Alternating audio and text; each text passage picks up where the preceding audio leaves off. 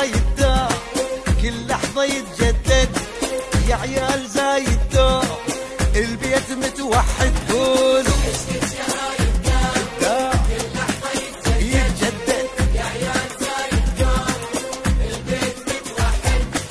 محروسة من العين يا قطعة من الروح. نرسل لك إحنا شواق ويا حمام الدوح.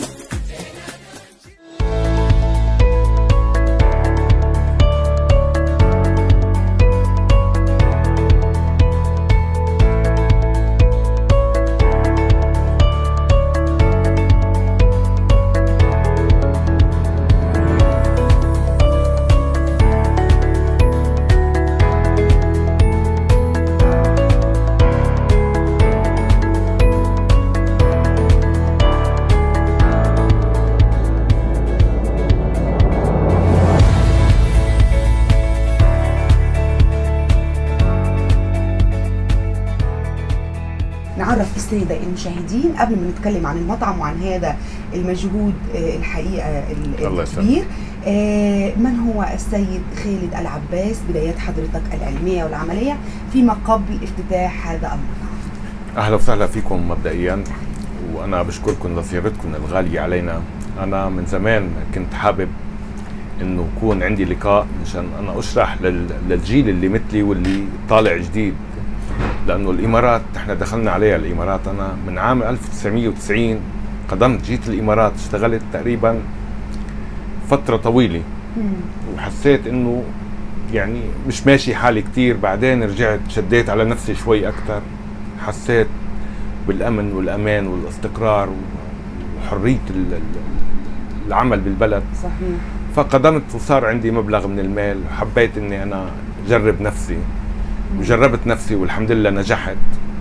ومن مشروع للتاني للتالت الحمد لله اليوم المشروع الثالث فأنا بحفز كل الشباب اللي من عمري وما إلها علاقة تأثير العمر إنه كان بعده صغير ولا كبير بالعكس البلد هون مفتوحة لكل نعم. الأعمار. أكيد وأنا اشجع الموضوع هيدا والبلد الإمارات مع حبي الشديد الله يرحم الشيخ زايد أبونا.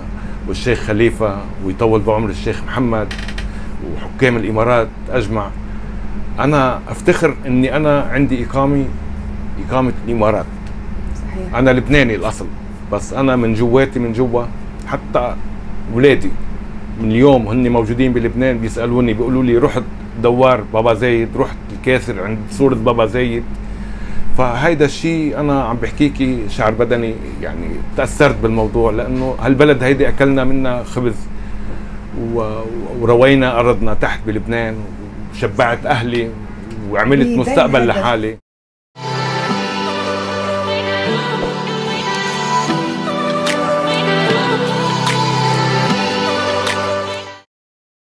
نتكلم عن البدايات كيف كانت آه، فكرة هذا المشروع بدايات حضرتك في هذا العمل؟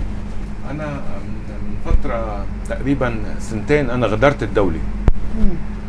غبت عن البلد سنتين ورديت رجعت لأنه اللي يشرب من ميتها خلص ما عادش يعرف يتركها. ما تهنيت بشيء برا خلص هي الإمارات الإمارات يعني. رجعت الإمارات وعملت لفة طويلة بالإمارات. حسيت إنه اللي كنا نحن ربينا عليه شغل المطاعم اللبناني اللي هو اكل المزاج الطيب بطلت لاقيه. فصفى مشروع المطاعم آه، اللي ما له مشروع أي حد يدخل المجال هيدا المجال له اختصاص مم. اللي يدخل هيدا المجال إذا ما كان مختص حرام إنه يخرب المصلحة لأنه هيدا الشغل له اهله وناسه أنا اليوم دخلت المجال هيدا وجيت وطلعت بالفكرة لأني برمت كثير أماكن ما لقيت مثلا الشاورما الطيبة. ما لقيت المشاوي الطيبة الشيء اللي نحن مربيين عليه. فحسيت إني أنا قادر إني أعمل شيء جديد وإن شاء الله إني دخلت وإلي تقريبا بخلال العشرة أيام أنا عم بعمل بوست وعم بعمل دراسة للمشروع تبعي. وحسيت إنه المكان اللي أنا فيه هو المكان المناسب. خلينا نتكلم بشكل أكبر عن الخدمات الأطعمة الموجودة أنواع الخدمات اللي بتقدمها من خلال هوا بيروت عندي تقريبا ال- ال- المطعم حيكون مميز. بالمشويات. المشويات اللبنانية اللي هي على أصولها الشاورما اللبنانية الفلافل الفول الفتة ال- يعني الأكل الشعبي اللبناني اللي هو آه، أخذ مجال كتير كبير بالبلد هون والعالم كلها حبته. يعني اليوم أنت بس تقولي إنه أكل لبنانيه العالم آه، تلهف عليها. صحيح. فأنا حابب إني أنا أعرض أرجع على الناس وعلى الزباين اللي نحن كنا نتعامل معهم سابقا وإن شاء الله يا رب يكونوا جديد معنا. حنعرض عليهم ال- الفكرة اللبنانية اللي هي أصيلة من ضمن الاكيب ستاف اللي أنا اخترته هو اللي كان معي من 20 سنة اللي. أخذ شهاده خبرة واللي أخذ آه، ميداليات بال- بالعمل الممتاز وال- وال- والنكهات الطيبة وال- والسيرفيس الحلو والخدمة السريعة وال- والنظافة يعني إن شاء الله بإذن الله نحن حنكون متميزين ندعي كل الناس لمطعمنا مطعم هوا بيروت حيكون آه، من البدايه هو صغير بس نحن شايفينه إن شاء الله كبير بوجودكم معنا. ما تنسونا ونحن إن شاء الله أكيد ما حننساكم. بتشرفونا بتحبونا. يعني خلينا نكون آه، صادقين معكم. بس تشرفونا بتعرفوا شو الكلام اللي عم بحكيه. نحن إن شاء الله مميزين.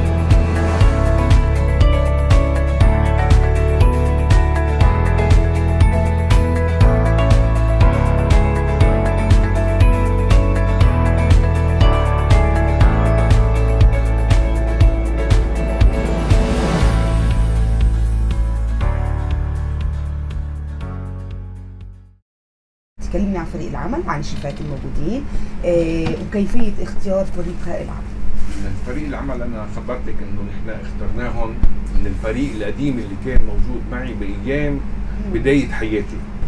فهن هدول اللي كانوا منجحين الأماكن اللي أنا اشتغلت فيها واختياري كان لهم صائب.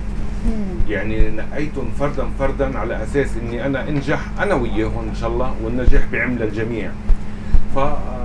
فالاكيب أنا واثق فيه مليون بالمية وأنا لو ما كان الأكيب كنت ترددت شوي بالمشروع لأنه أنا عم عم عم عم راهن على حالي إني أنا لازم إني أنجح ومصر إني أنجح. أنا بالأكيب اللي معي وإيدي وإيدهم وإن شاء الله وأنا كمان خبرتي لا تقل شأنا بال- بالموضوع هذا. مجال كتير كبير بالمطاعم.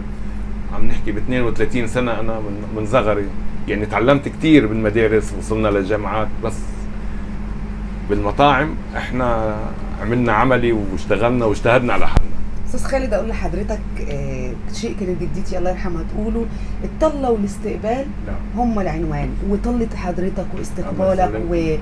وطريقة تعاملك آه، الطيبة أكيد تسلم. هي اللي هتحبب الناس في هذا تسلم. الله يسلمك خلينا. نتكلم في جزء مهم جدا أيضا وهو التميز طبعا حضرتك زي ما ذكرت في البداية إن دولة الإمارات آه، بتحتضن كل آه، من يدخل إليها وده بيخلق نوع من المنافسة لأنها بتشجع كل القطاعات داخل هذه المنافسة وأنت رجل آه، الان آه، رجل أعمال مسؤول عن مطعم إن شاء الله من المطاعم الكبيرة. آه، كلمنا عن رؤيتك المستقبلية لهذا المطعم وما الذي يميزه عن باقي المطاعم؟ بمعنى آخر السؤال ما الذي سنجده داخل هوا بيروت ولن نجده في مكان؟ شوفي هو ال- الخدمة والكرم وال- والأسعار أنا تقريبا يعني منافس كبير بدي يكون بالسوق. آه، محلي ما بدي أنا أعمله لمرتبة معينة أنا أعمله لكل الزبائن اللي تفوت لعندي المأخذين بالكلمة اللي عنده واللي ما عنده. آه، أنا إذا بتعرفي أنت شعار المخبز تبعنا خبز لمن لا يملك ثمنه موجود عندي. الله. هيدا عنوان المخبز. هذه رسالة. اليوم آه نحن اليوم فاتحين مطعم وإن شاء الله شعارها بيكون نفس شعار المطعم المخبز. وتفوقنا نحن عن غيرنا بده يكون بخدمتنا وبلقمتنا الطيبة. وفينا نقول نحن إنه بدنا نكون إن شاء الله إن شاء الله أطيب لقمة بالإمارات. زورونا وبتحبونا إن شاء الله. أطيب لقمة وصحه وعافية على الله كل. من يتواجد داخل دولة الإمارات.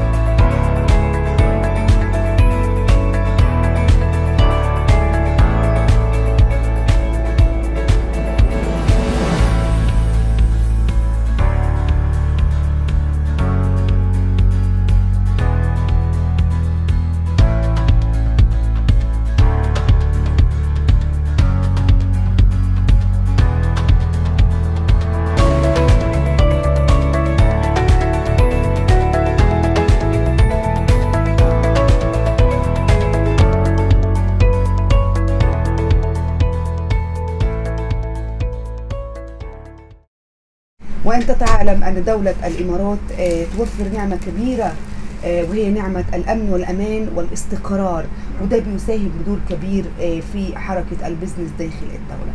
أنت كرجل أعمال لو طلبنا من حضرتك رسالة شكر لشيوخ وحكام دولة الإمارات على كل هذه المجهودات. شوفي الشكر لا يكفي أنا دخلت دولة الإمارات من أنا و...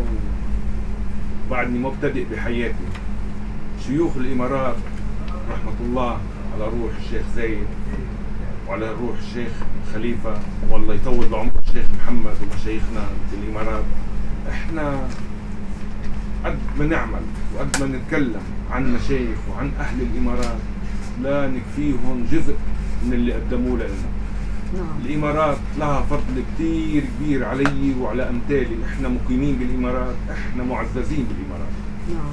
قادمين من أنا قادم من لبنان أنا اللي شفته ببلدي الإمارات الثاني الله يحمي مشايخهم ويطول بعمرهم ونحن نعتز إنه نحن نحمل إقامة الإمارات.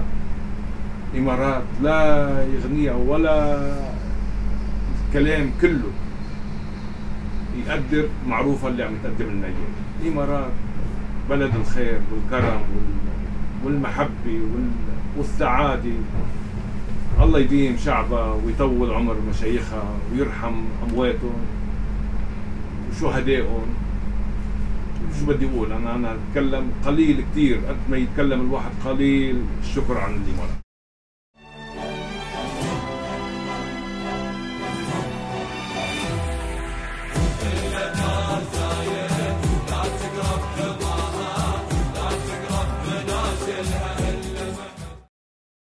من هو هذا الشخص ولو تود أن تقدم له رساله؟ أنا سلم عليه سلام حار كثير كبير.